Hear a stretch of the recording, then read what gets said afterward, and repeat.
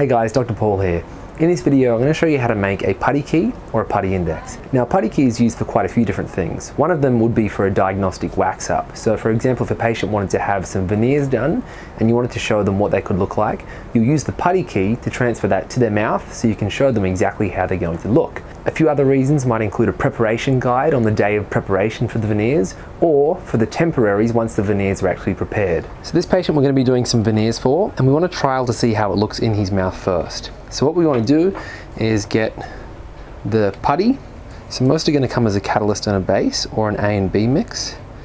Now make sure that you've got enough of the catalyst and you're going to mix them together. So I use gloves because this one gets quite messy.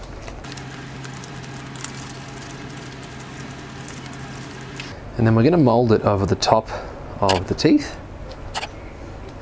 Make sure that it is thick enough that it is nice and robust.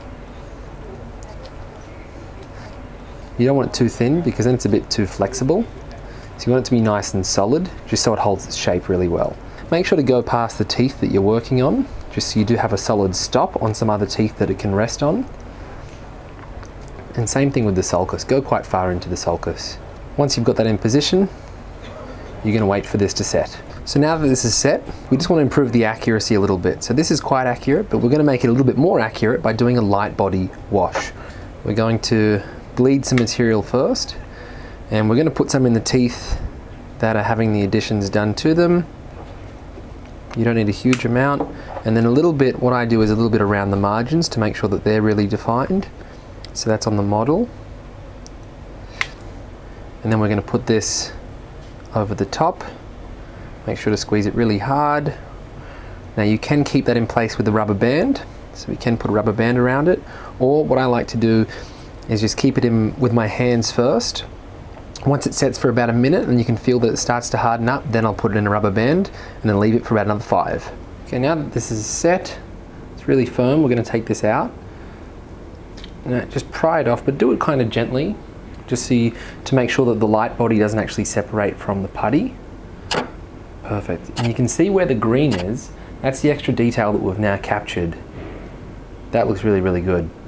Make sure as well that you do leave the light body in long enough. If you take it out too early, it will be more likely to detach.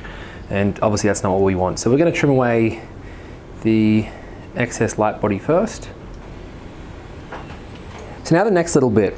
You can see here that we have some excess material above the gingiva. Now you have two options. The first option is to leave it like this.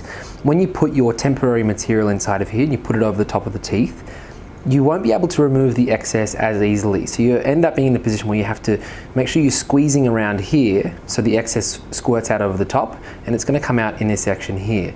The other option is that we can actually remove the excess above the gingiva as close to the gingiva as possible. That way you can actually remove the excess a little bit easier. I'm going to show you half-half and then it might be some trial and error on your part to decide which one you would prefer to do. So basically with the scalpel, you're going to bring it down in between the teeth.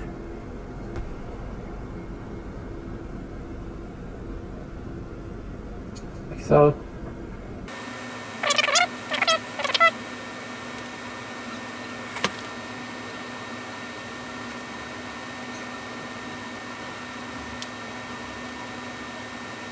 So here we have the finished product. So we've done half where we've removed the excess, half where we haven't. You'll just have to see which one you prefer as to which is easier for you. Basically how to use it is you're gonna put your temporary material on the inside here, put it over the top of the teeth, hold it in position, making sure that you're pushing hard against the gingiva. Once it does set, you're then gonna remove the excess with a sickle scaler or some other sort of instrument, and then slowly peel it away from the teeth. And that is how you make a putty key for a diagnostic wax up. Now, one little tip I'll give you is to make sure that this is very, very accurate. This isn't a step that you want to rush. If it is more accurate, there's going to be less excess to clean up. It's going to look a whole lot better. Your patient's just going to be able to visualize things. I know that when I rushed it, that was when the result wasn't as good as what it could have been. So make sure you spend some time to make a good quality putty key. Anyway, guys, thanks so much for watching. If you got anything out of the video, please like, share, subscribe. Those things really help me out a lot.